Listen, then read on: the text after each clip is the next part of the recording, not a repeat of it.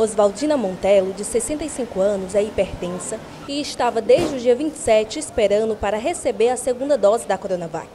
Assim que soube da chegada da vacina, ela e a filha foram ao posto de vacinação e não se importaram em esperar quase duas horas para que a imunização fosse completada. Eu estou me sentindo bem protegida, porque a vacina é a única prevenção que a gente tem contra as doenças, né? Então, se a gente está vacinado, a gente está protegido. Foi difícil, preocupante, porque eu fiquei com medo dentro desses dias que eu já tinha vacinado uma dose e não estava vacinando a outra. E aí eu fiquei com muito medo, mas graças a Deus agora a vacina chegou e eu estou protegida, graças a Deus. Olha, foi apreensivo, assim, a gente ficava naquela, né? Será se uma dose é o suficiente? Será se vai chegar a conta dela tomar? Porque a gente já tinha tentado e estava sempre faltando, tinha muita gente. Então a gente fica com medo, é, é como se você não tivesse tomado ainda.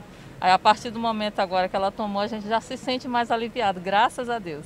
Com a chegada de 740 doses da Coronavac, que vem enfrentando atraso na aplicação por falta de doses distribuída pelo Ministério da Saúde, as 690 pessoas em Balsas que precisavam tomar a vacina irão completar o painel de imunização.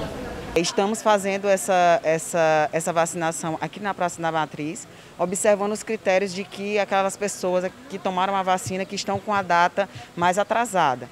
Né? É, diante do quantitativo que a gente recebeu, vai dar para suprir a nossa necessidade. Então a gente está aqui para tranquilizar toda a população, a vacina vai dar para todo mundo. Quem recebeu a primeira dose tem a garantia da segunda dose. Lote de vacinas contra a Covid-19 que chegou a Balsas permitiu que a vacinação para D2 fosse reaberta no posto de vacinação da Praça da Matriz e no Clube Recreativo de Balsas, o CRB. A segunda dose, ou D2, da Coronavac deve ser aplicada entre 21 e 28 dias após a primeira. Quem não completa o esquema vacinal está mais sujeito à infecção em comparação com pessoas que recebem as duas doses. Por isso é tão importante tomar a segunda dose do imunizante. A recebeu um quantitativo suficiente, terá Teve início hoje a nossa ação né, da segunda dose. Amanhã a gente vai dar continuidade, tanto aqui na matriz como no CRB.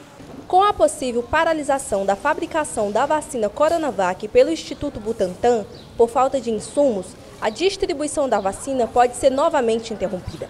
A Secretaria de Saúde de Balsas já se prepara para isso e está usando outros imunizantes já deu início né, com outro imunizante, que é a vacina AstraZeneca, tá, da Fiocruz, aonde a gente vai receber mais lotes e a gente vai dar continuidade nessa vacinação.